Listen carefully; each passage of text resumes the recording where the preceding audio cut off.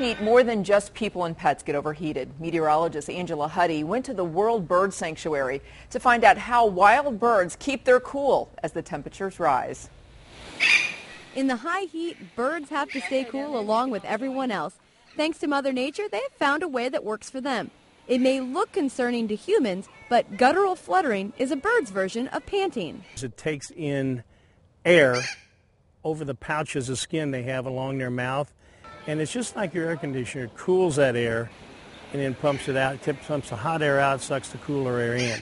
When the weather gets this hot, the World Bird Sanctuary in Valley Park gets lots of phone calls from concerned people worried about their backyard feathered friends. But don't worry. But it does work out very well for the bird, and people should not panic, especially if it's hot like this.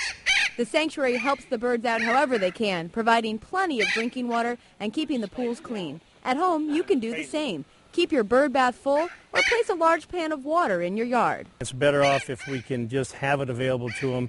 You'd be surprised the number of birds you can attract with just water. Whether it's a bird bath or a simple pan of water, you're not only going to be helping birds in this hot weather, but also squirrels, chipmunks, and other outside animals, sure to bring a menagerie to your backyard. At the World Bird Sanctuary, I'm Angela Hutti, Fox 2 News. Oh, that white owl was not only hot, he was tired too.